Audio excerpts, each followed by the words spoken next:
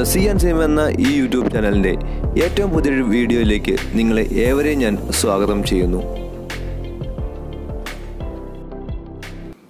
ഇപ്പോൾ നിങ്ങൾ കണ്ടുകൊണ്ടിരിക്കുന്നത് നമ്മുടെ ഷിപ്പിന്റെ ലൈഫ് ബോട്ടാണ്. ഒരു ഷിപ്പിൽ നോർമലി ഇതുപോലത്തെ രണ്ട് ലൈഫ് ബോട്ടാണ് ഉണ്ടാവുക. എത്ര ആൾക്കാരെ കൊണ്ടുപോകാനുള്ള കപ്പാസിറ്റിയാണോ ഷിപ്പിനുള്ളത്? അത്രയും കപ്പാസിറ്റി തന്നെ നമ്മുടെ ഈ ലൈഫ് ബോട്ടിന് ഉണ്ടായിരിക്കണം. അപ്പോൾ നമ്മളുടെ രണ്ട് ലൈഫ് ബോട്ടും കൂടി കൂടി നമ്മുടെ ഷിപ്പിന്റെ ഡബിൾ കപ്പാസിറ്റി ആയിരിക്കും അതിലുണ്ടാവുക. അതായത് ഇപ്പോൾ എന്റെ ഈ ഷിപ്പിൽ മുപ്പത്തിരണ്ട് പേഴ്സൺസിനെയാണ് മാക്സിമം കൊണ്ടുപോകാൻ സാധിക്കുക. അപ്പോൾ അതിൽ ഒരു ലൈഫ് ബോട്ടിന്റെ കപ്പാസിറ്റി മുപ്പത്തിരണ്ട് ഉണ്ടായിരിക്കണം. നമുക്ക് എന്തെങ്കിലും എമർജൻസി വന്നിട്ട് നമുക്ക് നമ്മളുടെ ഷിപ്പിൽ നിന്ന് നമുക്ക് എസ്കേപ്പ് ആവണം. അല്ലെങ്കിൽ നമ്മുടെ ഷിപ്പ് സേഫ് അല്ല.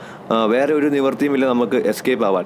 ആ ഒരു സാഹചര്യത്തിലാണ് നമ്മൾ ഈ ഒരു ലൈഫ് ബോട്ട് യൂസ് ചെയ്ത് നമ്മൾ എസ്കേപ്പ് ആവുന്നത്. നമ്മളുടെ ഷിപ്പിനെ നമ്മൾ ഉപേക്ഷിച്ച് നമ്മളുടെ ജീവൻ രക്ഷിക്കാൻ വേണ്ടി നമ്മൾ ഉപയോഗിക്കുന്ന ഒരു എക്യുപ്മെന്റാണ് ഈ ലൈഫ് ബോട്ട് അപ്പോൾ നമുക്ക് ലൈഫ് ബോട്ടിന്റെ ഡീറ്റെയിൽ ആയിട്ടുള്ള വീഡിയോയിലേക്ക് കിടക്കാം. ഇപ്പോൾ നമ്മൾ കാണുന്നത് ലൈഫ് ബോട്ടിന്റെ ഉൾഭാഗമാണ്.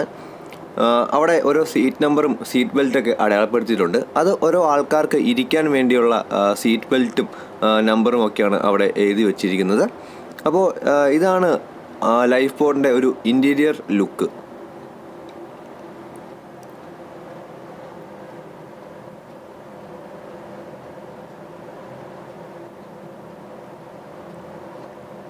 ആ ഒരു ഭാഗത്താണ് ലൈഫ് ബോട്ടിന്റെ എഞ്ചിൻ ഇരിക്കുന്നത്. അതൊക്കെ ഞാൻ നിങ്ങളെ കാണിച്ചു തരാം.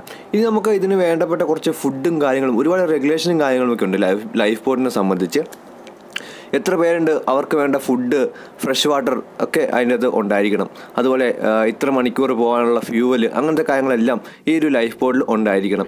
ഇതുപോലത്തെ പ്രോട്ടീൻ ബിസ്ക്കറ്റ് പോലത്തെ ബിസ്ക്കറ്റുകളാണ് ഇതിൽ ഫുഡായിട്ട് ഉണ്ടാവുക. അതുപോലെ തന്നെ നമുക്ക് എമർജൻസി ആയിട്ട് ഡ്രിങ്കിങ് വാട്ടർ ചെറിയ ചെറിയ പാക്കറ്റിൽ ചെറിയ ചെറിയ ഡ്രിങ്കിങ് വാട്ടർ പാക്കറ്റ്സും ഉണ്ടാവും. അപ്പോൾ ഇതൊക്കെ വളരെ ഇമ്പോർട്ടന്റ് ആയിട്ട് ഭയങ്ക- ഭയങ്കര ഇമ്പോർട്ടന്റ് ആയിട്ടുള്ള സംഭവങ്ങളൊക്കെയാണ്. അപ്പോൾ ഇതൊക്കെയാണ് നമ്മളുടെ ഒരു ഫുഡിന്റെയും അതുപോലെ തന്നെ ബാക്കിയുള്ള കാര്യങ്ങളൊക്കെ ലൈഫ് ബോട്ടിന്റെ ഉള്ളിൽ ഭയങ്കര റേഷൻ ഫുഡും കാര്യങ്ങളൊക്കെ ആയിരിക്കും ലൈഫ് ബോട്ടിന്റെ ഉള്ളിൽ നമുക്ക് ഉണ്ടാവുക.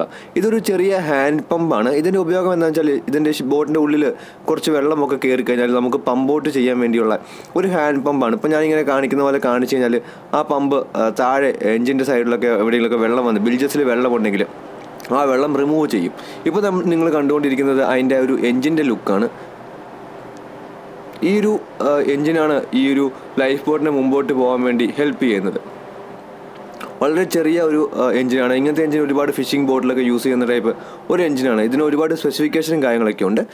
ഇപ്പോൾ നിങ്ങൾ കണ്ടുകൊണ്ടിരിക്കുന്നത് ഇതിന്റെ ഒരു ഫ്യൂവൽ ടാങ്കാണ് നമ്മൾ എല്ലാ വീക്കിലും ഇതിന്റെ ഫ്യൂവൽ ടാങ്കൊക്കെ ചെക്ക് ചെയ്യും. അതുപോലെ തന്നെ ഈ ലൈഫ് ബോട്ടിന്റെ എഞ്ചിനൊക്കെ ട്രൈ ഔട്ട് ചെയ്യും. അപ്പോൾ ഈ ഒരു ലൈഫ് ബോട്ടിന്റെ എഞ്ചിൻ നമുക്ക് രണ്ട് രീതിക്ക് ട്രൈ ഔട്ട് ചെയ്യാം. ഒന്ന് ബാറ്ററി വെച്ച് നമുക്ക് സ്റ്റാർട്ട് ചെയ്യാൻ സാധിക്കും. അതുപോലെ തന്നെ മാനുവലായിട്ട് നമുക്ക് തിരിച്ച് തിരിച്ച് സ്റ്റാർട്ട് ചെയ്യാൻ സാധിക്കും. അപ്പോൾ ഞാനിപ്പോൾ കാണിച്ചു തരാൻ പോകുന്നത് ഇത് മാനുവലായിട്ട് നമ്മൾ സ്റ്റാർട്ട് ചെയ്യുന്ന ഒരു വീഡിയോ ആണ് ഇപ്പോൾ നിങ്ങൾ കണ്ടുകൊണ്ടിരിക്കുന്നത്. അതുപോലെ നമ്മൾ ബാറ്ററി സ്റ്റാർട്ട് വേറെ ഒരു ലൈഫ് ബോട്ടിന്റെ എഞ്ചിനിൽ നമ്മൾ ബാറ്ററി സ്റ്റാർട്ട് ചെയ്യുന്നതും നമ്മൾ ഈ വീഡിയോയിൽ ഇൻക്ലൂഡ് ചെയ്തിട്ടുണ്ട്. അപ്പോൾ നമ്മൾ അതിന് വേണ്ടി ഞാനും തേർഡ് ഓഫീസറുമാണ് നോർമലി എല്ലാ വീക്കിലും പോയിട്ട് ഈ ഒരു ലൈഫ് ബോട്ട് ട്രൈ ഔട്ട് ചെയ്യുന്നതും അതിന്റെ ബാക്കിയുള്ള കാര്യങ്ങളൊക്കെ നോക്കുന്നത്. എൻജിൻ സൈഡിന്റെ കാര്യങ്ങളൊക്കെ ഞാനും ഞാനായിരിക്കും നോക്കുന്നത്. അതുപോലെ തന്നെ ബാക്കി അതിന്റെ ലൈഫ് ബോട്ടിന്റെ കാര്യങ്ങളൊക്കെ നോക്കുന്നത് തേർഡ് ഓഫീസറാണ് അപ്പോൾ ഇപ്പോൾ നമ്മൾ ട്രൈ ഔട്ട് ചെയ്തുകൊണ്ടിരിക്കുകയാണ് ഞാനും തേർഡ് ഓഫീസറും കൂടിയാണ് life boat engine try out ചെയ്യുന്നത്.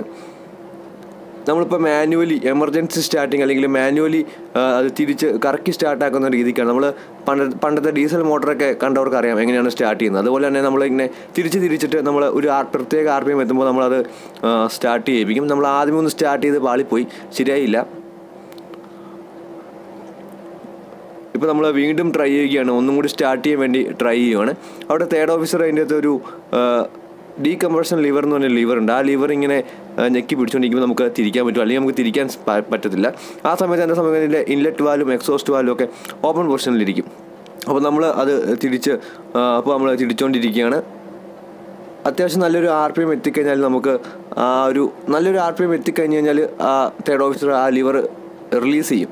അപ്പോഴാണ് ഈ എൻജിന് സ്റ്റാർട്ട് ആവുന്നത് ഇപ്പോൾ രണ്ടാമത്തെ ട്രൈ ചെയ്തതും ശരിയായില്ല. രണ്ടാമത്തും അത് ശരിയാവാണ്ട് വന്നു. നോർമലി ഇങ്ങനെ വരാറില്ല. കറക്റ്റായിട്ട് ആ ആർ പി എം എത്തുമ്പോൾ റിലീസ് ചെയ്താണ് ഈ എഞ്ചിൻ ഇങ്ങനെ സ്റ്റാർട്ട് ആവുകയുള്ളൂ. അതുകൊണ്ടാണ് സ്റ്റാർട്ട് ആവുന്നത് കറക്റ്റ് ആ ഒരു ടൈമിങ്ങിൽ നമ്മൾ ശരിയാക്കി വിട്ടില്ലെങ്കിൽ അത് ശരിയാവില്ല. നമുക്ക് ഈ പ്രാവശ്യം എന്തായാലും സ്റ്റാർട്ട് ആക്കണം. ഇത് മൂന്നാമത്തെ ട്രൈ ആണ്. ഇപ്പോൾ സ്റ്റാർട്ട് ആവും എന്നാണ് എന്റെ ഒരു പ്രതീക്ഷ.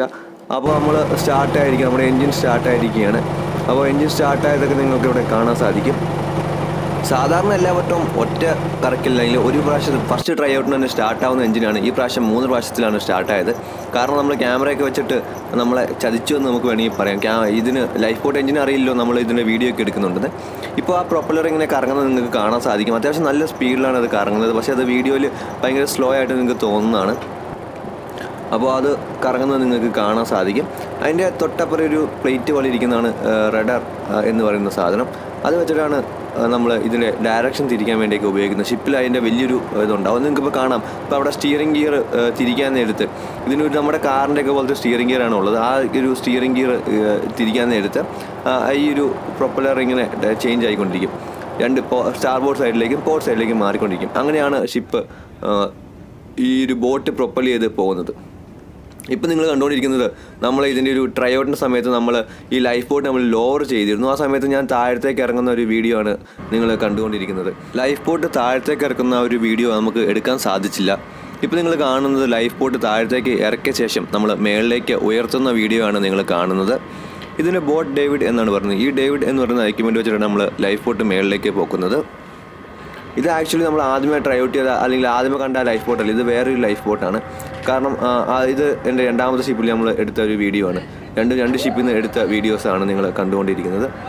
കുറച്ച് ബ്ലറി ആയിട്ടുണ്ട്. കാരണം നമുക്ക് അതിന്റെ നമ്പേഴ്സും കാര്യങ്ങളൊന്നും പുറത്ത് വിടാൻ ആഗ്രഹമില്ല. അതുകൊണ്ടാണ് നമ്മൾ അതൊക്കെ ബ്ലറി ചെയ്തത്. അപ്പോൾ നമ്മൾ ആ ഒരു ലൈഫ് ബോട്ടിലേക്ക് താഴത്തേക്ക് ഇറങ്ങിയിട്ട് തിരിച്ച് കയറുന്ന ഒരു വീഡിയോ ആണ് നിങ്ങൾ കണ്ടുകൊണ്ടിരിക്കുന്നത്. ഞാൻ ആദ്യമായിട്ടാണ് ഇങ്ങനെ ലാഡറി കൂടി ഇത്രയും വലിയ ലാഡറി കൂടി ഇത്രയും നല്ല ലെങ്ത് ഉണ്ടാവും. ആ ഒരു ലാഡറി കൂടി പോയത്. ഇനി നമുക്ക് ലൈഫ് ബോട്ട് ബാറ്ററി വെച്ച് സ്റ്റാർട്ട് ചെയ്ത് നമുക്ക് നോക്കാം. അതിനുവേണ്ടി നമ്മൾ ഫസ്റ്റ് ബാറ്ററിയുടെ സ്വിച്ച് ഓൺ ആക്കുക. നോർമലി രണ്ട് ബാറ്ററികളാണ് ഉണ്ടാകുക രണ്ട് ബാറ്ററി ഉണ്ടെങ്കിൽ നമുക്ക് നമ്മൾ ആദ്യം കണ്ടുപോലെ ഹാൻഡ് സ്റ്റാർട്ട് ഉണ്ടാവില്ല.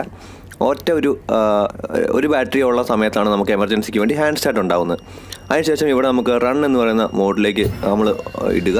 അതിനുശേഷം റൺ എന്നുള്ള സ്വിച്ച് നമ്മൾ അമർത്തുക. അത്രയാണ് ഉള്ളൂ. നമ്മുടെ എൻജിൻ സ്റ്റാർട്ടാവും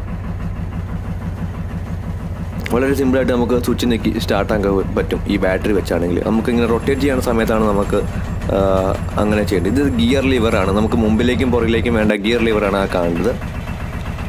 ഇപ്പോൾ നമ്മൾ മുമ്പിലേക്കും പുറകിലേക്കും ഇടുന്ന ഒരു വ്യൂ നമ്മളിപ്പോൾ ഗിയറിലേക്ക് ഇടാൻ പോവാണ്. അപ്പോഴാണ് എന്റെ ഷാഫ്റ്റ് റൊട്ടേറ്റ് ആവുന്നത്. നിങ്ങൾക്ക് കാണാൻ പറ്റും. ഇപ്പോൾ നമ്മുടെ എഞ്ചിന് ഷാഫ്റ്റ് റൊട്ടേറ്റ് ആവുകയാണ്. മുമ്പിലേക്കും പുറകിലേക്കും നമുക്ക് ഗിയർ അങ്ങോട്ടും ഇങ്ങോട്ടും ഒക്കെ ചേഞ്ച് ചെയ്യാൻ സാധിക്കും. അപ്പോൾ പിന്നെ നമ്മളിനി ലൈഫ് ബോട്ടിന്റെ ലോവറിംഗ് ഒക്കെയാണ് നമ്മൾ കാണുന്നത്. ഇപ്പോൾ അത് ലോവർ ചെയ്യുന്ന ഒരു ഇതൊക്കെയാണ് നമ്മളിപ്പോൾ കണ്ടുകൊണ്ടിരിക്കുന്നത്. ഇത് നമ്മൾ സിംഗപ്പൂരിൽ വെച്ച് നമ്മൾ നമ്മൾ ബോട്ട് ഡ്രില്ല് നടത്തിയായിരുന്നു. ആ ബോട്ട് ഡ്രിൽ നടത്തിയതിന്റെ ഒരു ദൃശ്യങ്ങളാണ് നിങ്ങൾ കണ്ടുകൊണ്ടിരിക്കുന്നത്. ഇത് ഒരു മൂന്ന് മാസമൊക്കെ കൂടുമ്പോൾ നോർമലി ചെയ്യാറുണ്ട്. അപ്പോൾ അങ്ങനെ ചെയ്യുന്നൊരു വ്യൂ ആണ് നിങ്ങൾ കണ്ടുകൊണ്ടിരിക്കുന്നത്. ഒരുപാട് ഷിപ്പിങ്ങിന് ആങ്കറിൽ കിടക്കണം. ആങ്കറി കിടന്ന സമയത്ത് നല്ല നല്ല സേഫ് ആയിട്ടുള്ള ഒരു ക്ലൈമറ്റിലാണ് നമ്മൾ ഇങ്ങനെയൊക്കെ ചെയ്യുക. അല്ലെങ്കിൽ നോർമലി പോർട്ടിന്റെ ഉള്ളിലാണ് നമ്മൾ ചെയ്യുക. ഇത് സിംഗപ്പൂർ ഇന്നർ ആങ്കറേജിലാണ് നമ്മളിപ്പോൾ ഉള്ളത്. ആ ഒരു അവിടെ ഒരുപാട് ഷിപ്പുകൾ സിംഗപ്പൂരിൽ എന്തോരം ഷിപ്പുകളുണ്ടെന്ന് നമുക്ക് പറഞ്ഞാൽ തീരത്തില്ല. ഒരുപാട് ഷിപ്പുകൾ നമുക്ക് അവിടെ കാണാൻ സാധിക്കും. അപ്പോൾ അങ്ങനത്തെ ഒരു വ്യൂ ഒക്കെയാണ് നിങ്ങളിപ്പോൾ കണ്ടുകൊണ്ടിരിക്കുന്നത്. ഒരു ഷിപ്പിൽ നോർമലി രണ്ട് ലൈഫ് ബോട്ടാണ് ഉണ്ടാവുക. ഒരു ലൈഫ് ബോട്ട് പോർട്ട് സൈഡിലും ഒരു ലൈഫ് ബോട്ട് സ്റ്റാർ ബോട്ട് സൈഡിലും ഉണ്ടാവും.